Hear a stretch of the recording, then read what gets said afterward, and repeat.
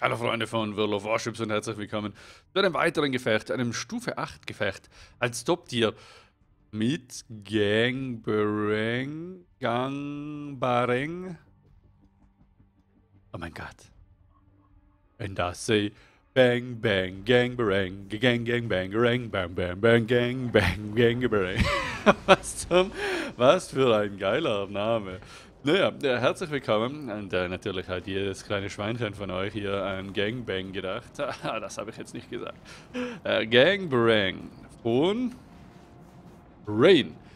Ja, wir haben ein wunderbares Matchmaking erwischt, wo ein Z35, ich sage mal GAN-DD der Deutschen, ich komme da immer noch nicht klar mit diesem Ding, was Wargaming hier fabriziert hat, sicherlich fette Beute machen kann. Bin gespannt. Schauen wir uns das kleine Teil mal an. Das ist hier übrigens ein 5x1, 128 mm mit Stock 3,4 Sekunden Nachladezeit. Mini-Zerstörer mit 6 Kilometer Torpedos. 2x4 allerdings, aber sind halt die Volkstorpedos. Ne? Ich weiß nicht, ist das Eigenkreation von mir? Ich glaube schon. Die deutschen Volkstorpedos mit 13.700, die jedes deutsche Schiff hat. Oh, machen wir vielleicht zu Beginn schon fette Beute, wir werden sehen. Wir haben hier unfassbare 6 Kilometer hydroakustische Suche und auf 6,2 Kilometer, nein, warte mal, 8, 5 Kilometer. Dankeschön zum Einschalten. Und der Camperkeit zur Luft, gut, momentan uninteressant. 5 Kilometer hydroakustische Suche und wir haben 6 Kilometer Torpedo, 6,2 Kilometer Aufdeckungsreichweite. Das bedeutet, wir haben hier Doppelconcealment geskillt. Natürlich. Im Gegnerteam Benz Nakatsuki Z31, auch wieder so ein Querulant, und eine Hatsuharu. Gut, ich denke mal, nichts, was uns, wenn wir Smoke und hydroakustische Suche bereit haben, in die Quere kommen kann. Ansonsten äh, müssen wir sehen. Wir haben hier den Spezial Schmuck. Ja, jetzt haben wir da Wirkungsdauer C, ja, den Kurzimpulsnebelerzeuger. Eine weitere herausragende Änderung hier, die Wargaming reingehauen hat. Uh, unverwüstlich wurde aktiviert. Echt? Das ist doch ein Anzeigefehler.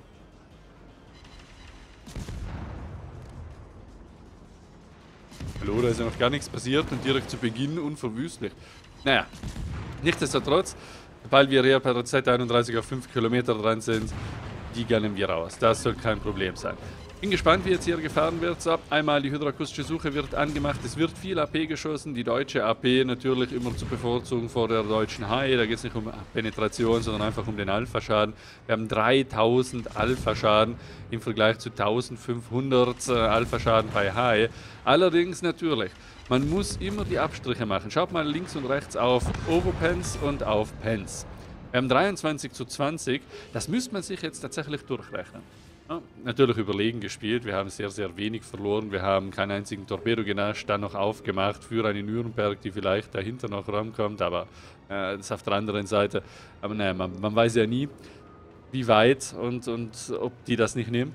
Zudem haben wir 19.400 den äh, die kompletten, oder ist der komplette gegnerische DD erledigt. Das kommt übrigens davon, wenn das Gegnerteam, obwohl hier 5 zu 4 ist, keine Anstalten macht, ins Gefecht zu kommen ins Gefecht um das Cap. Und so kann Gang Barang hier in aller Ruhe, und man muss einfach sagen, was zum Teufel macht die North Carolina da hinten? Ja, die Scharnhorst ne, macht sie auch nicht besser. Die Graf Spee ist eher noch verständlich. Sie ist am nahesten, was äh, die Cap-Designs betrifft. Also am nächsten und ist halt nur ein Sechser im Achter. Da fährt man schon ein bisschen vorsichtiger, auch wenn man einen Heal hat und da doch was eher riskieren kann, mehr als die Nürnberg. Aber das ist natürlich wieder bezeichnend. Bezeichnend für die Teams, bezeichnend für so mancherlei Gefecht. Und jetzt habe ich den Faden verloren, was ich vorher sagen wollte. Ich habe 23 Overpenetrations zu 20 Penetrationen. Wie gesagt, eine Overpen macht 10% des Gesamtschadens, das sind 600. Eine Pen macht 33%, das sind fast 1000 oder ein bisschen mehr als 1000 bei AP.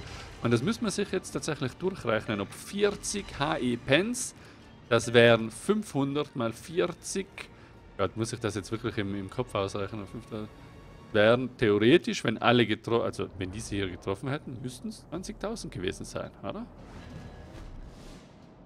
Doch, 500 mal 40. Sperma 5 ist 20, 0, 0. Das sind 20.000. Damit wäre der gegnerische DD erledigt gewesen. Und äh, so haben wir auch die 19.700 geknackt. Von daher blieb es jetzt tatsächlich äh, auf, mit demselben Ergebnis, mit derselben Trefferquote, weil bei HE wären es immer Penetrationen gewesen, keine Overpens. Gut, es hätte theoretisch sein können, dass es ein Nichtdurchschlag wäre, wenn äh, die Frontpanzerung eines Turms getroffen wird beim DD. Ich glaube, der hat mehr als 32 mm, wie die deutsche HE auf 128 mm hier penetriert. Ja, das macht es nicht bei allen. Uh, das ist jetzt elegant. Die Graf Spee könnte übrigens auch Hydro anmachen. Wir werden gleich sehen, ob das gemacht wird. Ne, hat sie nicht auf. Gut, dann muss sie in Volkstorpedos bezahlen, wie es aussieht. Wird, oh, das ist jetzt natürlich bitter. Diese Insel hier, die wird entweder dafür sorgen, dass sie auffährt oder sie, die Graf Spee, oh, Macy wird sich denken, oh Gott, die Insel, die habe ich gesehen. Ich bin doch kein Noob. Ich fahre jetzt ganz elegant an der Insel vorbei. Ich glaube, er muss gar nicht schießen mit AP. Die Torpedos werden super mitgenommen. Admiral Lucenz, fette Beute. Ja.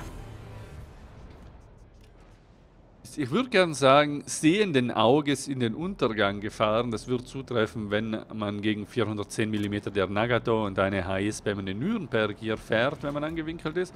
Wobei die auch AP schießen kann, hätte können bald. Aber so muss man einfach erwähnen, das ist blinden Auges in den Untergang gefahren.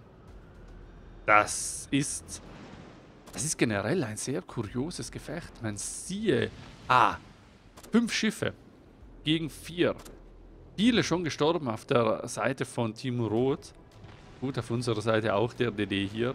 Und dann noch ein Kreuzer.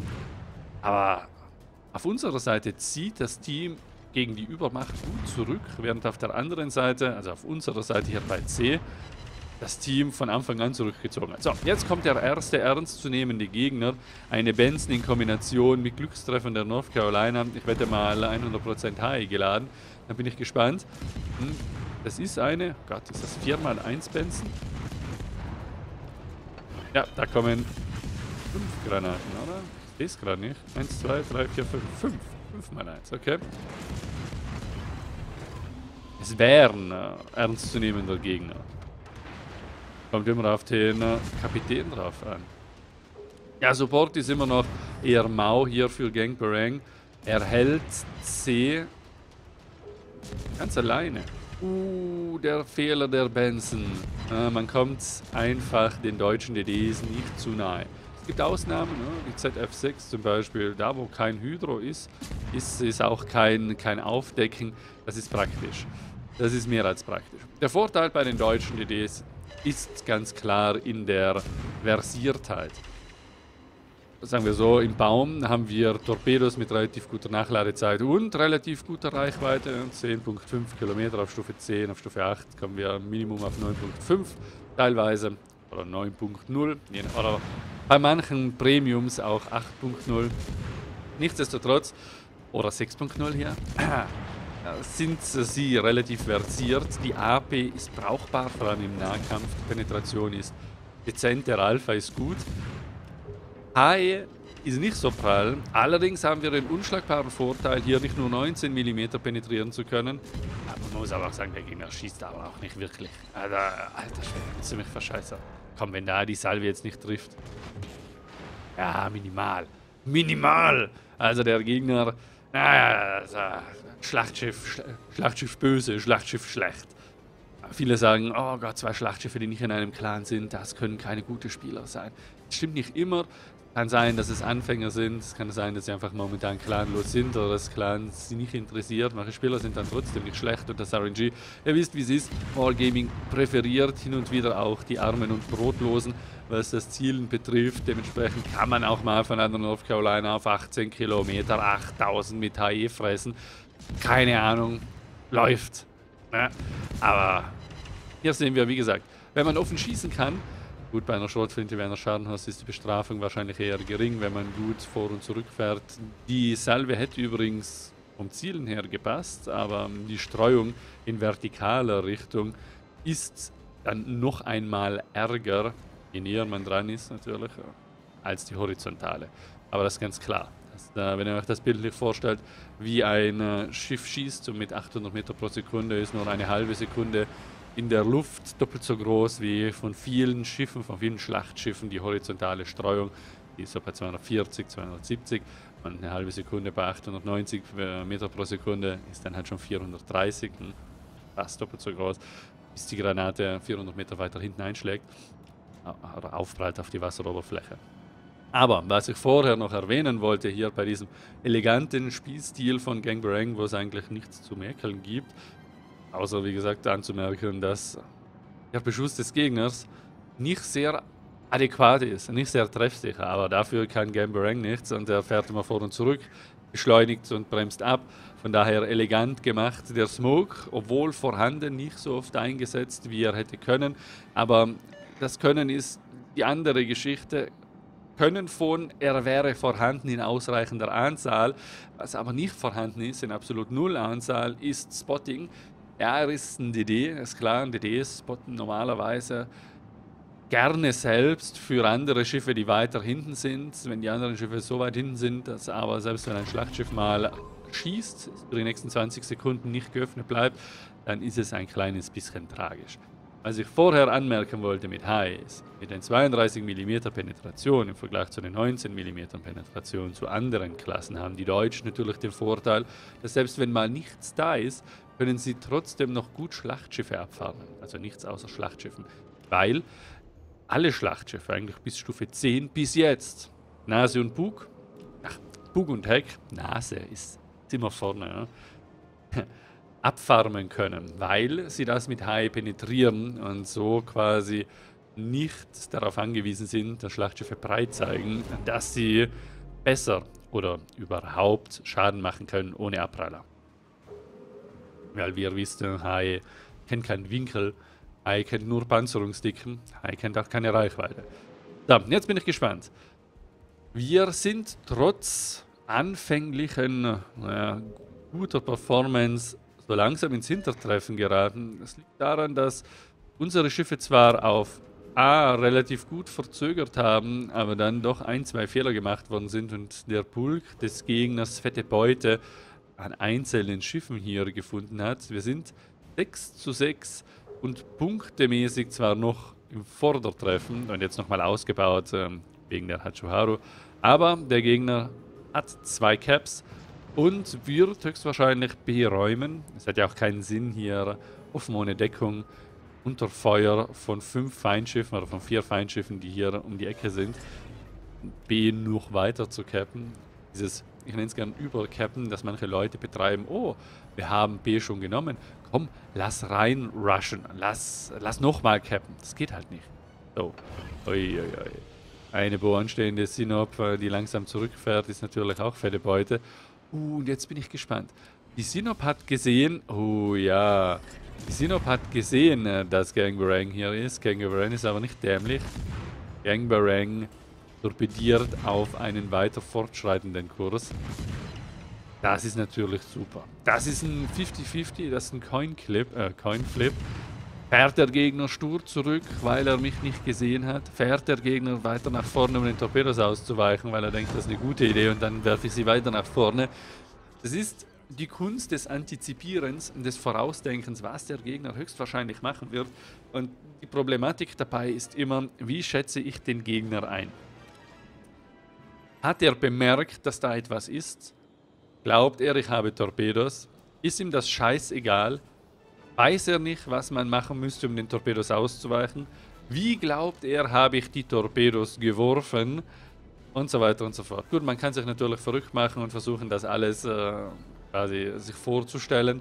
Aber sind wir ehrlich, keiner hat die Zeit, selbst hier bei nur zwölf Gegnern die einzelnen Schiffe und deren Kurs sich anzuschauen, um eine kleine Expertise sich bilden zu können, wie gut der Gegner fährt, warum fährt er da rein, das war scheiße, der ist dumm, der hat, glaube ich, eine andere Richtung. Das ist unterm Strich wird das was. Ah, jetzt kommt unverwüstlich.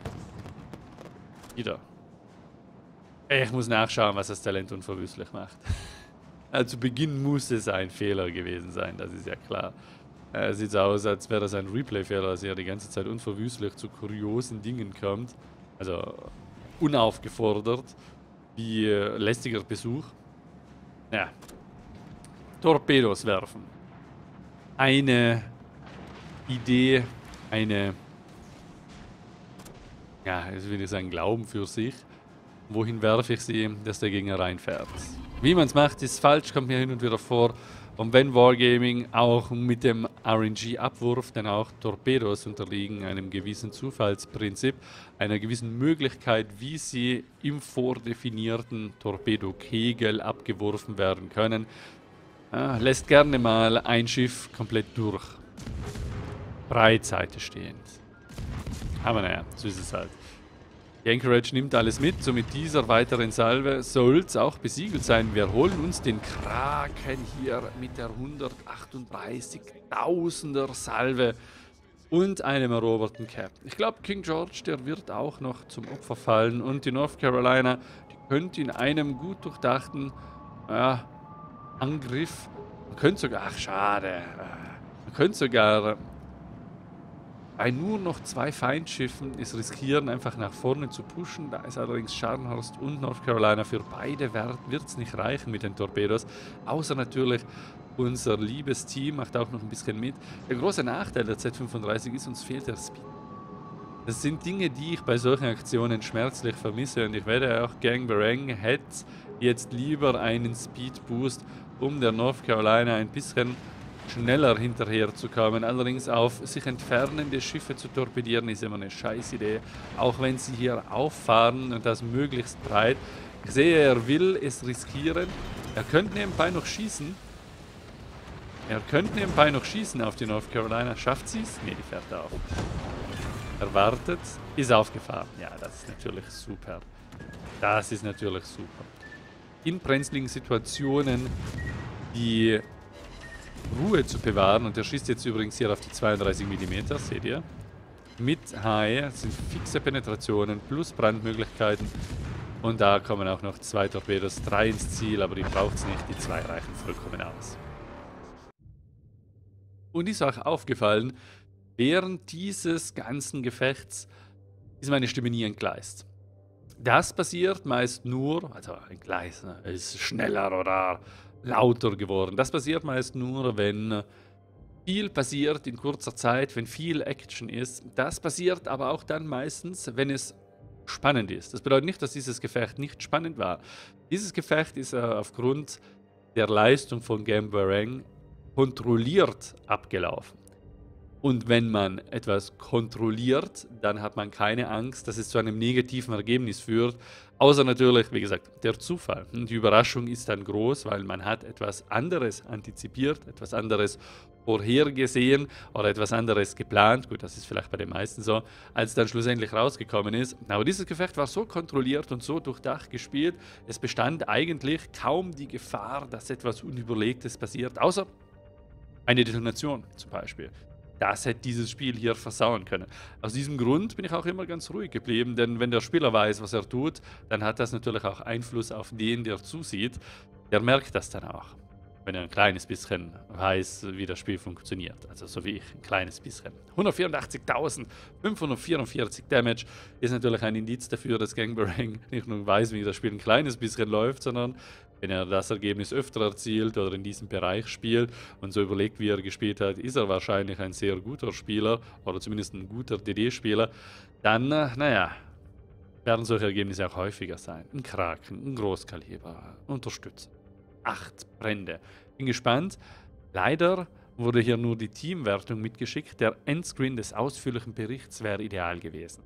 3236 Punkte, Vergleich zum zweiten 1630, also knapp doppelt so viel, sind natürlich bezeichnend für die Leistung und für den Carry, der hier stattgefunden hat. Ein außergewöhnliches Gefecht in einem Schiff, das man tatsächlich nicht sehr häufig sieht. Das war, und das ist lustig, das stand sogar in der E-Mail, das war aber auch mein Grund, warum ich es gewählt habe. Z35 sieht man nicht oft, zu Recht, zu Unrecht, das ist Geschmackssache. Ich glaube, Viele mögen den DD nicht. Einerseits ist er Premium, deswegen wird er vielleicht nur gekauft, wenn er wirklich Außergewöhnliches zu bieten hat.